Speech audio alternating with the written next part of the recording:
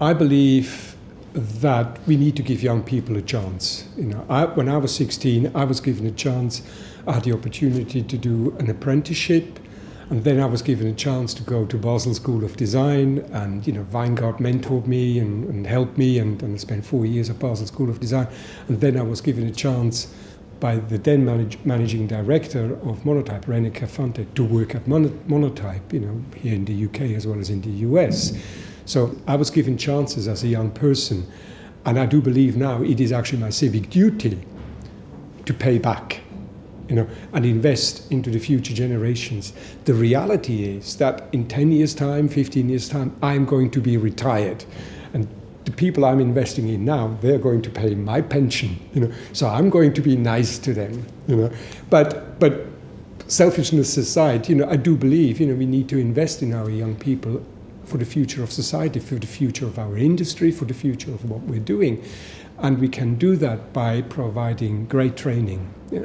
Now, internships is something that we've been doing for years and years and years, you know, and in the last few years we have become very structured about it. And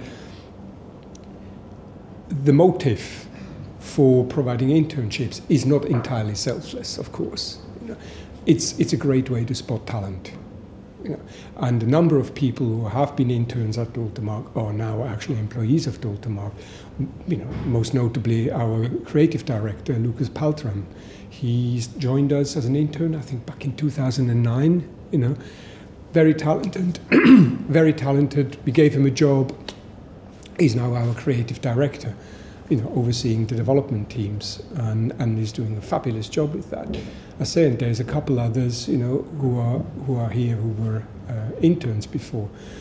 Other people have moved, you know, back to from wherever, wherever they came from. They work as graphic designers, and they use the internship simply um, to gain more experience in type and typography. You know, just to build on those foundations a little bit more, just to have that time for two months to, to just focus on one thing only, you know, in their own time and really deeply focus on that. Not be distracted about, oh, I've got to learn this program, I've got to write a 10,000 word essay, but actually just there, you know, pencil, paintbrush, eventually the mouse, just draw character after character after character every single day. And that gives them then that foundation. And in fact, the intern training program doesn't differ at all from the training program we give our new recruits, other than it is a little bit less in depth. You know, it's not so much focused on uh, on the processes of how we're working here, but more the intern program is more focused on just giving the student the foundation. The practicality of our training program is such that we actually have a dedicated team for training. So when a new recruit starts at Dalton Maag, they're not even assigned to a team yet or anything. They are literally in training. And that's all they do. And we budget for that right from the start. So we know when the person starts on day one, they signed the contract for the next three months or so, they are not available. And only once the mentor, in this instance, as mentioned before, Ron Carpenter, once he says that person is ready, then they will be assigned to a team. So, see, that's being budgeted for. Uh, their time, whilst they're in training, their time is not being uh, used for production work at all. Actually, that resource doesn't appear anywhere, and that resource doesn't appear anywhere on our uh, planning system at all.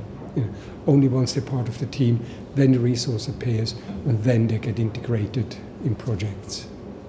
The investment, you know, as I mentioned earlier, the investment pays off because we're now seeing slowly but surely that people understand the processes and they understand that they have to work together and the training enables them to do so you know. And by working together they work more people work more efficiently. You know, they talk to each other they have certain processes everyone designs in in a certain way not creatively.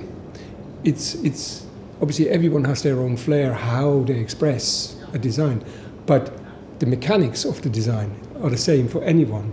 So that means if someone is sick for any length of time, someone else can pick up that part of the project and complete it, complete it because they know what the person previous to them has done. And they can just pick it up and finish it off. because everyone works in the same way. The industry is changing so much and, and, and, and an incredible fast pace. You know, this is not only true for the type design industry, I mean graphic design is changing. The digital design industry is I mean every day it's changing. Every day you have to adapt. Fortunately with fonts things go a little bit slower, you know, uh, than, than in, in other parts of the design industry. However, we have to also kind of like keep pace with the change. We have to keep ourselves informed of what is going on in, in, in the industry.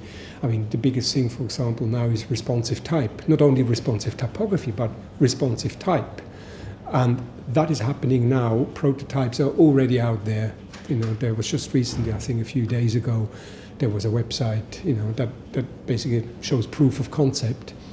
And that's happening, I would suggest, that in the next 12 to 18 months responsive type is a reality as a technology, not necessarily from a design point of view, but as a technology, it's going to happen. It's there.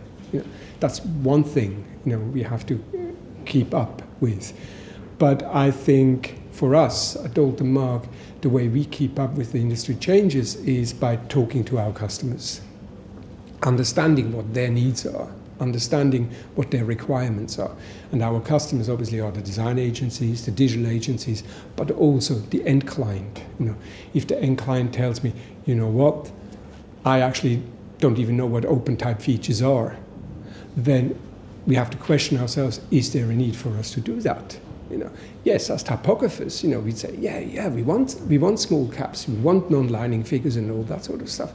But there is not necessarily a need to do that. So we might be much better off investing the resources in developing other technologies, other ways of designing, and new ideas, innovation.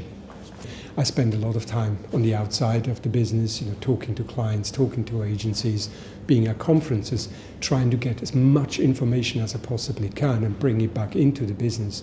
That will then filter back into what we call sharing sessions. For example, once a month we have a non-project Thursday where all afternoon we just share information, we share uh, experiences, you know, and we learn, you know, and, and, and have exchange of information. And that is a way of bringing the outside world back into the business. But everyone else is as involved in that you know, as I am. Uh, some people may have done some research in technology, they will bring it back into the business and share it with their colleagues. So, so this is how we're keeping abreast, or how the development teams keep abreast you know, of the changes in technology.